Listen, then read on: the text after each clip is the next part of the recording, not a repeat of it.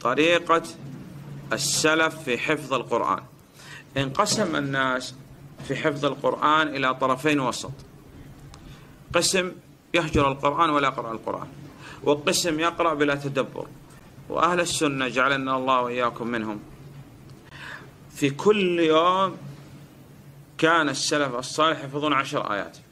وفي كل يوم ينظروا في معنى هذه الآيات وتدبروا فيها وفي كل يوم يستعينوا بالله على العمل. هذا الذي يكون على طريقة السلف. لا يترك الحفظ أبدا ولا يترك التدبر ولا العمل. فماذا تصنع؟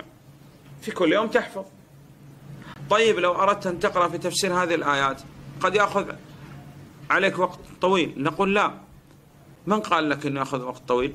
تأخذ تفسير مختصر. هذه نصيحة علماء. أي تفسير؟ تفسير الشيخ عبد الرحمن بن ناصر بن سعدي تفسير مختصر سهل واضح. عشر آيات أحيانا والله لا تأخذ منك خمس دقائق. نعم.